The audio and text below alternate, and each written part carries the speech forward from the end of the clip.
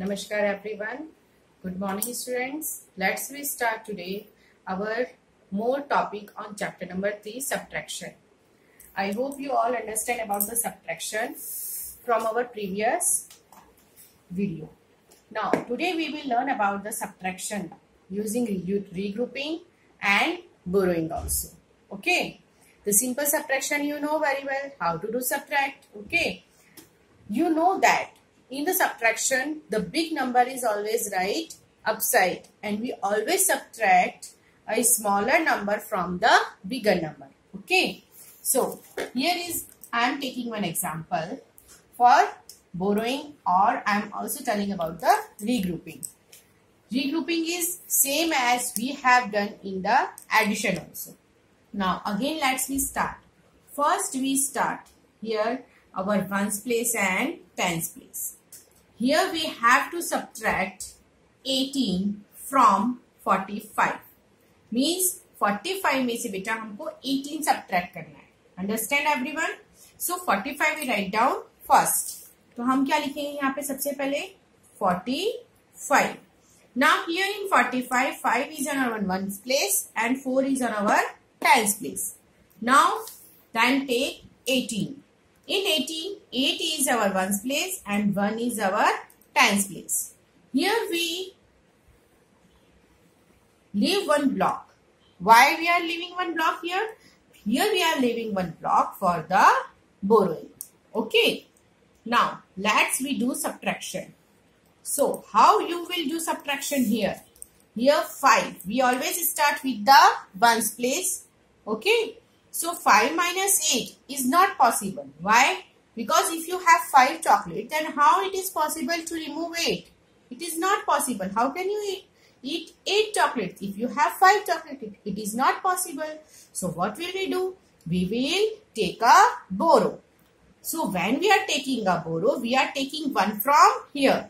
So this 5 will become 15. That means 5 we write down as it is and we are taking 1 borrow. That will be from 4 tens place. So it will become 15. And what about this? We are taking away from 1. Okay. So 4 minus 1. So it will become the previous number. That is 3.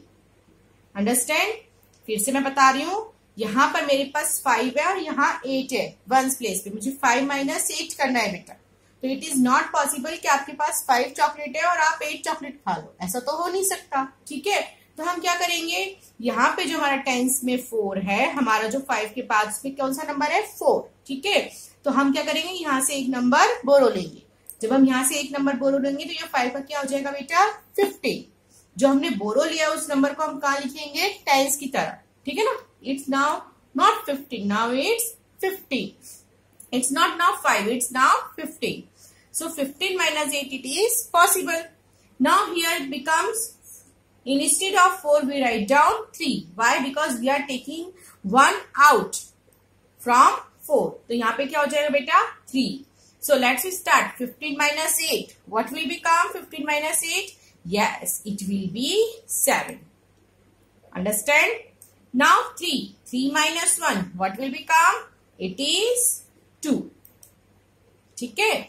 अब देखो, बहुत से बच्चों को जैसे fifteen minus eight है तो ये माइनस करने में दिक्कत आती है, ठीक है? तो अब मैं आपको अपनी फिंगर से एक बार ये माइनस करना सिखाऊँगी बेटा।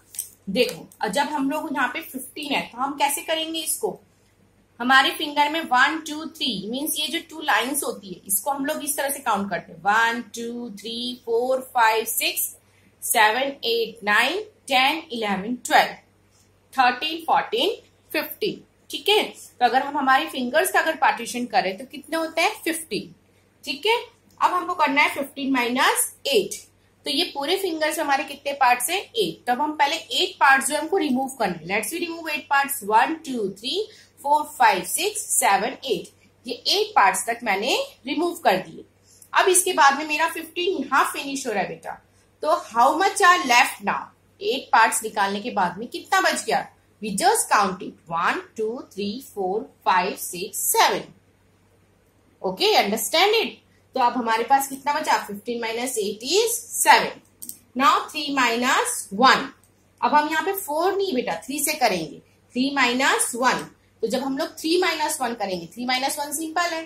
Three minus one so how many fingers you have two so you will two write down here two so understand everyone how to take a borrow and how you will get the answer. The same exercise is depend all same the questions are same in on page number 36 okay. Now here are here the also same exercise that is 37 the word problem also same like this exercise, okay? One more topic is here that is checking subtraction using addition. कि हमने जो ये हमको इसका जो answer है addition के through हमको क्या करना है बेटा? चेक करना है है ना? कि हमारा जो आंसर है वो करेक्ट है या नहीं? तो चलो मैं आपको इसी में एक एडिशन करके दिखा देती हूँ इसमें कि हम लोग जो है वो कैसे एडिशन करके इसका आंसर चेक करते हैं। तो देखो, अब मैं आपको इसका आंसर चेक करके बताती हूँ कि ट्वेंटी सेवन जो है मेरा इसका आंसर करेक्ट है या नहीं। ठीक है? तो सबसे पहले हम क्या करेंगे? जो स्मॉल नंबर होता है बेटा, सबसे पहले हम लिखेंगे टेंस एंड वंस अब स्मॉल नंबर क्या है मेरा यहाँ पर? 18 so I will write down here 18 first अब मेरा आंसर क्या है यहाँ पे बेटा? 27 अब इस 27 को मैं यहाँ लिखूँगी और मैं इनको ऐड करूँगी। अब जब मैं इन दोनों नंबर्स को ऐड करूँगी कौन कौन से? एक स्मॉल नंबर और एक जो मेरा आंसर है।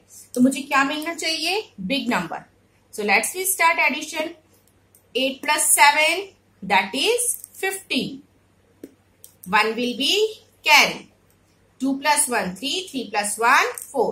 So if you see that, here the answer we get that is 45 and 45 is the biggest number in this question.